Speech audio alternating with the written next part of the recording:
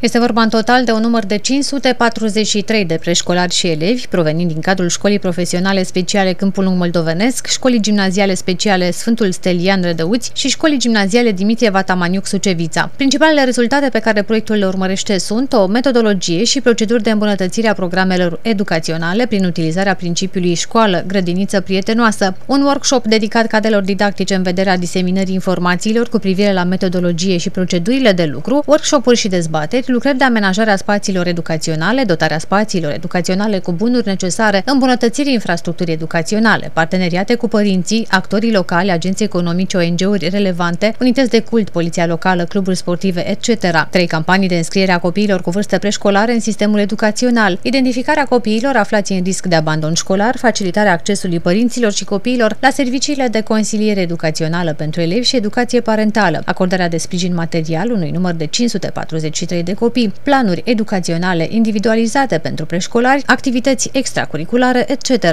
În cei 543 de preșcolari și elevi vom avea două grupuri țintă, 99 de preșcolari, grădiniță pe Sucevița, integral și... Iar 444 de copii vor fi din uh, celelalte două unități. Uh, ca obiective specifice uh, ale proiectului, care se ancorează în această uh, axă da, pe FOCU, ameliorarea și diversificarea serviciilor educaționale. Cum? Prin două metode. Odată, structurând procesul de predare și a doua oară actualizând infrastructura educațională. Când spunem uh, structurarea procesului de predare, ne referim la uh, implementarea unei metodologii de tip Uh, grădiniță și școală prietenoasă, metodologie care va fi elaborată de o, un grup de experți a Inspectoratului Școlar Județean, iar noi o vom uh, pilota pe, școala, pe școlile respective, pe acel grup țintă și sperăm ca acele uh, produse din proiect să rămână viabile și să le putem aplica și extrapola și în alte unități școlare.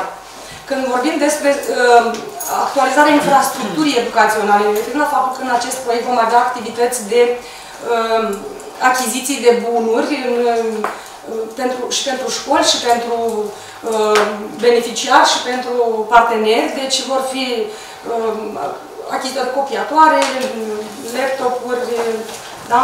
deci, care, care vor fi utilizate în uh, implementarea cu succes a acestui proiect. Beneficiarul proiectului Pro-Educație, măsuri educaționale integrate pentru stimularea accesului la educația copiilor aparținând unor grupuri vulnerabile, cofinanțat prin programul operațional Capital Uman 2014-2020, este Casa Corpului Didactic George Tofan Suceava, iar parteneri sunt Inspectoratul Școlar Județean Suceava și Centrul Județean de Resurse și de Asistență Educațională a județului Suceava. Școlile asociate vor fi Școala Profesională Specială Câmpul Lung Moldovenesc, Școala Gimnazială Specială Sfântul Stelian Rădăuți și Școala Gimnazială Dimitrie Vatamaniuc Sucevița.